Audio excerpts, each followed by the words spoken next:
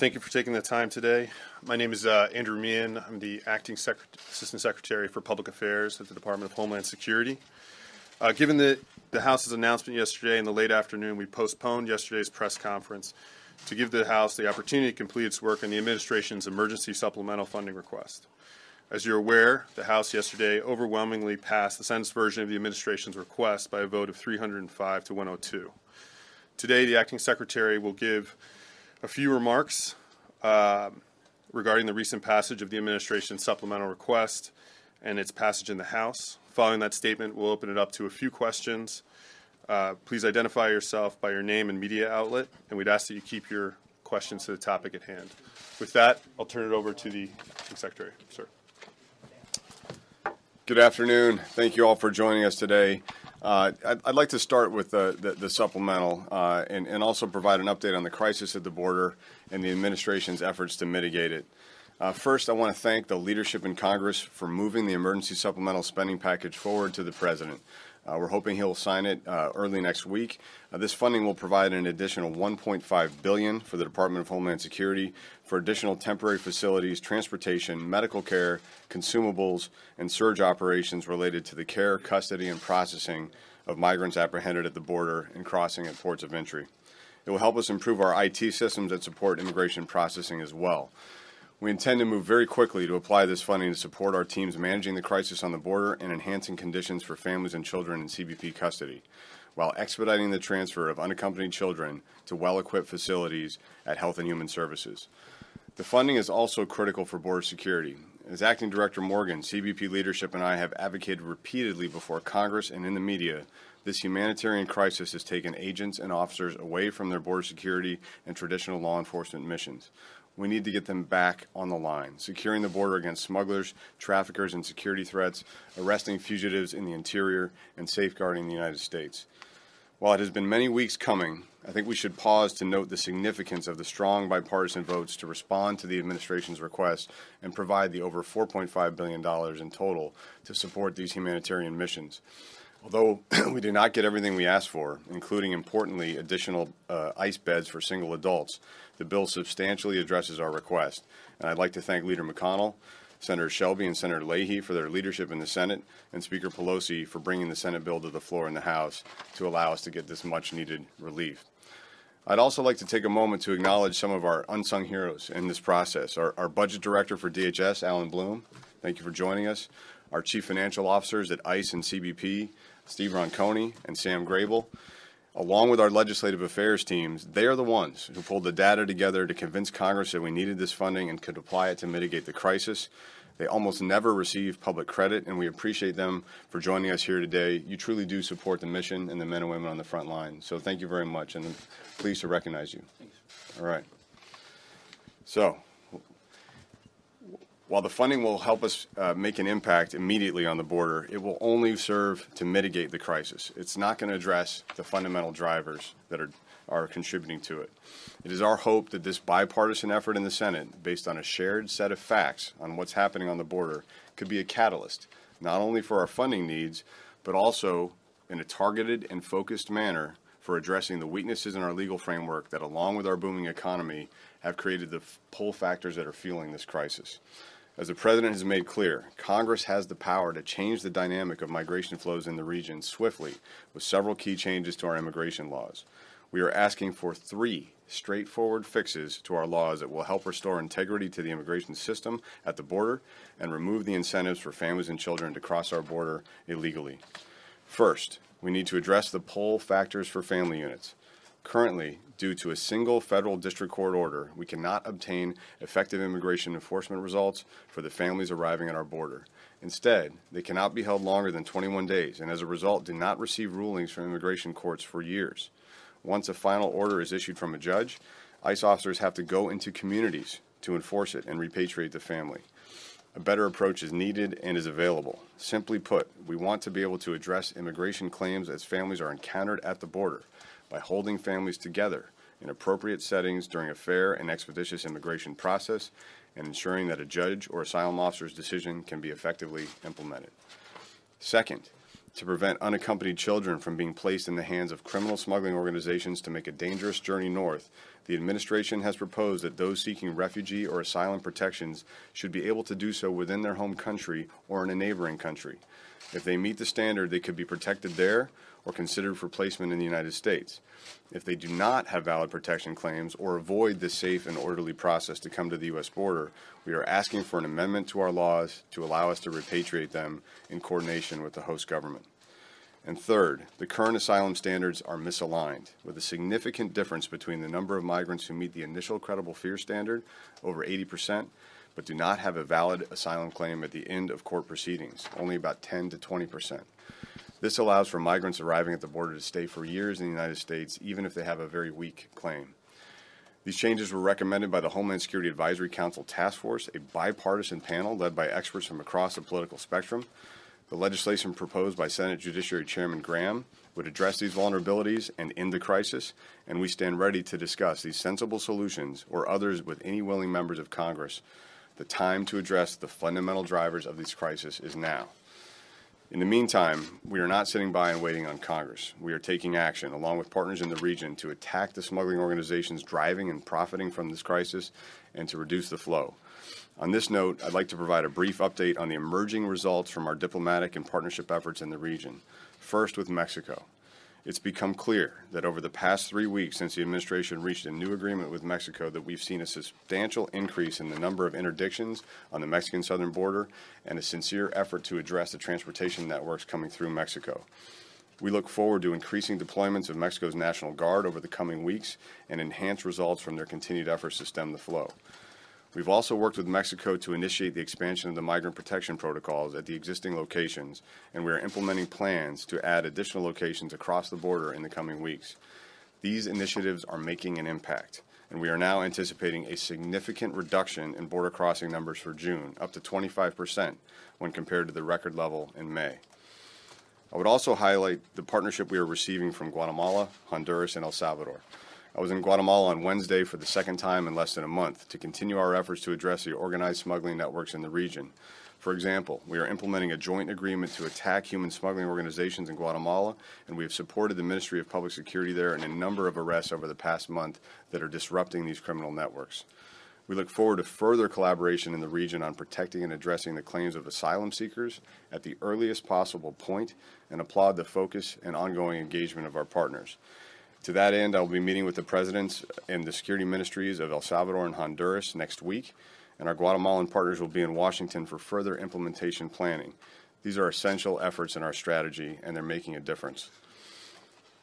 In closing, I'd like to talk uh, about the importance of the supplemental funding to enhance our ability to improve conditions and address capacity challenges in DHS custody, as well as speeding the movement of unaccompanied children uh, into HHS care.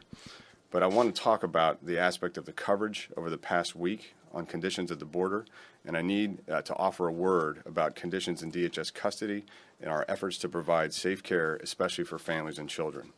For months, I and other leaders at DHS have been warning of increasing numbers of families and children arriving at our border and the fact that our facilities are not appropriate for them, that we needed congressional action to address the factors driving the crisis and ensuring safe conditions. Since December, I have testified to Congress seven times outlining these challenges, five times since May 1st, where I asked for urgent action on the supplemental. On March 27th, we held a press conference at the border talking about border security and the humanitarian crisis reaching a breaking point. We had 14,000 people in custody that day. I held another one on May 11th as we were going toward 20,000 in custody, which is where we were on June 1st. The acting commissioner, chief of the border patrol, sector chiefs in the field have all asked for additional resources and highlighted the stark challenges at the border. All of this received relatively limited attention and little action until this past week on the Hill. But unsubstantiated allegations last week regarding a single Border Patrol facility in Clint Station in Texas created a sensation. That's balanced somewhat since several media outlets toured the Clint Station and saw the actual conditions there a clean and well managed facility and well equipped process but frankly, much of the coverage is simply too late and is missing the story. DHS has applied unprecedented resources and effort to care for the increased arrivals. We've applied over $500 million this year to specifically mitigating the crisis, increasing access to medical professionals in our stations tenfold, investing in transportation supplies, contract care, and support. We have 40 to 50 percent of our Border Patrol agents in key busiest sectors focused on care of migrants, hospital watch for families and children. Contrary to the reporting, children in CBP custody at the border are receiving access to key supplies, including toothbrushes, appropriate meals, blankets, showers as soon as they can be provided, and medical screening. The real story I would submit to you on the border crisis and our response is about our Border Patrol agents who have chosen a career about protecting others. Border Patrol agents, supported by CBP officers, ICE enforcement and removal officers, Homeland Security Investigation Special Agents, U.S. Coast Guard medical corpsmen, public health service doctors, military professionals, and hundreds of DHS volunteers, along with dedicated NGOs and local border communities, all of whom have been working tirelessly without thanks or enough support to care for the unprecedented surge of vulnerable families and children in our care, all while still securing our border. I'm in awe of their effort and steadfast commitment. At the same time, the story is also about vulnerable populations from Central America who continue to be enticed into a smuggling cycle that puts them at risk, at risk and enriches violent criminal organizations. This cycle puts children in danger, as we have seen tragically and devastatingly in the images of Oscar and Valeria on the banks of the Rio Grande. Valeria was the fourth child, fourth death of a child in the past week attempting to cross into the United States. The situation should not be acceptable to any of us. It should galvanize action and real debate based on what is actually happening on the border and why. And yet, here in Washington, we have collectively failed to act to address the drivers of the crisis. This failure is not on the men and women of DHS, and definitely not on the outstanding Border Patrol agents, CBP officers, and ICE officers who have borne the brunt of the challenges and most of the criticism. They deserve better, and so do the families and children of Central America who are being sold false promises by smugglers. Our men and women deserve the resources they need to address the humanitarian crisis that they're receiving in the supplemental. It goes a long way. But they also need the targeted changes in the immigration laws necessary to restore integrity to the immigration system at the border and our border security. Thank you. I'm happy to take a few questions. Zolan? Um, I am at this point right now with the supplemental being passed. Do you still support, or, or do you support a uh, operation by ICE uh, for undocumented families? So part of the challenge we've had this past year with this influx is that ICE has had to detail about 400 professionals to the border simply to help process families and manage the, the migrants coming in uh, to transfer them to facilities, single adults, or family units to the family residential centers. That means that across the board, our interior enforcement numbers are down. Any balanced enforcement strategy has to attack the problem not only at the origin and the transit through Mexico, but also at the border and in the interior. We have final orders issued from judges that are not being followed through on. We have criminals that are that are uh, fugitives in the country that we're not we don't have the teams dedicated to address because they're down at the border helping.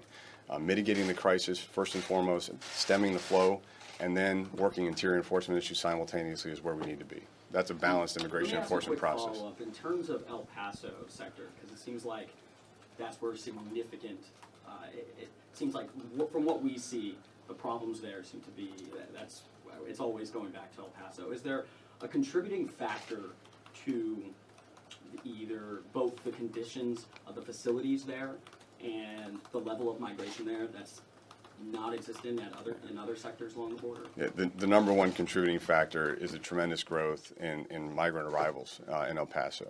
It's, it's become the second busiest sector on the border. Uh, it, it has not been a major factor in arrivals for several years. It's also seen the, been the number one sector for large groups arriving. So that's really challenged their process. Additionally, it's a far-flung sector going from Antelope Wells uh, all the way to Isleta uh, and, and, and Point South in, in Texas. Uh, that's a huge uh, area that they have to transport migrants, so it, it creates a lot of logistical challenges for processing and care, along with the high volume numbers. Colleen? Um, so, once the supplemental is passed, then what happens? After the money is spent, you know, what are you gonna do after that money is spent? How are you gonna mitigate the increased flows? Even if you have a twenty-five percent decline, which is considerable, it's still a lot of people coming, so. Yeah, no, 20, 25% is not acceptable. Uh, we, we need to continue to work with Mexico and Central America. That, that's why we're investing so heavily in our diplomatic and partnership strategy. Uh, with, with my time, uh, with the leadership at the, at the components, all engaging directly, sharing intelligence with Mexican authorities, uh, with the new National Guard, uh, and then working to really create the capacity in Guatemala, in Honduras, uh, to address these networks where they're starting. Uh, just think about simple techniques such as identifying those unaccompanied children crossing from Honduras into Guatemala. They need a passport to do that within the CA4 agreement. They've been crossing without a passport uh, for a long time. Guatemala's changed that. They're addressing that. Uh, we had the first ladies of Guatemala and Honduras on the border with us last week with the security ministers and the ministers of foreign affairs. We showed them HSI's interview efforts to identify parents traveling, or excuse me, adults traveling with children that are not their own. Uh, we showed them our DNA testing pilot. They were very concerned at the potential for more children from Guatemala and Honduras to be taken by adults that are not their own, trafficked, smuggled, rented, uh, and, and they want to address it with us. So they're going to look at DNA testing for their own borders, uh, and they're going to look at the same sort of interview and document check techniques that we're using to identify uh, those families that are not presenting, they're presenting as fraudulent. Luis?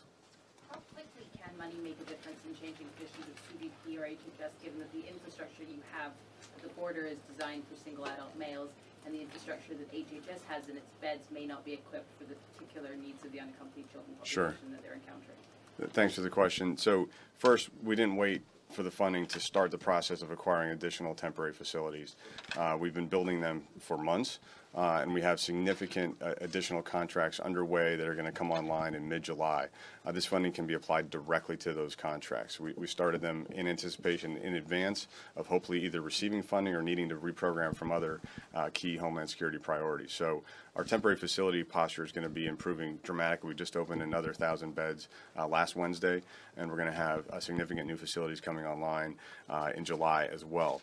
HHS was doing much the same, identifying additional facilities uh, in Texas and Oklahoma uh, that can take uh, unaccompanied children coming from the border, including the, the key demographic for us, which is teenagers, uh, teenage boys, uh, about 65%, teenage girls, another 30% uh, in terms of the crossing. So uh, that will all be helpful and applied very quickly by both agencies. Sorry, last Follow up, I know question. Central American Aid, do you still Yes. support it? So I'm, I'm in Central America now uh, several times a month at this point uh, in terms of working directly with our partners, identifying those, not only those security programs, but those targeted programs that can make a difference in reducing migrant flow. Uh, I absolutely support it, uh, working with State Department to see which programs have a return on investment uh, that can make that kind of impact, and we'll be taking that, that package forward uh, to see which programs should be uh, supported going forward. Last question, Dara? Um, so, given that we are apparently seeing a decrease in apprehensions for June, and as we know, July and August tend to be lower months, when are we going to know that this is actually a policy thing and not a seasonal thing? And in the meantime, is there going to be pressure, if numbers do continue to decrease, to redirect money to other things like interior enforcement instead of sending it to surge resources at the border? So the supplemental is for the humanitarian mission. It, it's carefully budgeted and applied for facilities, uh, transport care on, on the border. It will replace some overtime funding for surge operations for CBP and ICE, uh, but most of that money is really just focused on mi- mitigating the flow and addressing it. In terms of when we're going to know if these efforts in Mexico are making an impact, I, think the, these three weeks have demonstrated that they are already. Uh, that 25% decrease in June is, is more than we've seen uh, in past years. We are not really tracking a seasonal pattern anymore. It's more about the pull factors, in my experience, than uh, tr- traditional weather or agricultural seasonal uh, workers. Uh, this is a different situation. So I think we're going to know uh, basically by mid-July and certainly by the end of July if these efforts are, are sustained and having a significant impact. Uh, we're also going to see additional focus in Guatemala and Honduras come online this summer, an additional capability which I think can can also augment uh, the impact of the partnership. So I, I think we're going to see continued reduction in the numbers, wh- which will alleviate some of the capacity constraints we've had at the same time as we're bringing facilities online, and, and that should present a much better situation at the border uh, for the arriving migrants uh, and also help uh, address the flow and address the criminals that are profiting from it. Good. Thanks, everybody. As always, if you have any additional follow-up, please. uh, I mean, four questions, and we haven't had a press conference in months. Okay, so why don't, why don't we keep rolling and, what, no, no, why don't we keep rolling and you answer our questions? Are, do you have any concerns about the, the father and the daughter who, um, drowned in the river when the family says that they were waiting for money from Mexico. Is there, are there any plans to revisit the metering policy for one? Two, you guys, he talks about how he's been sounding the alarms on this, but then the president uh, did a national emergency for border wall funding. Why don't, uh, is there, are there any plans to talk about a national emergency for humanitarian assistance at the border? I think the president spoke for himself on Twitter last night when he applauded everybody for their hard work in the humanitarian crisis.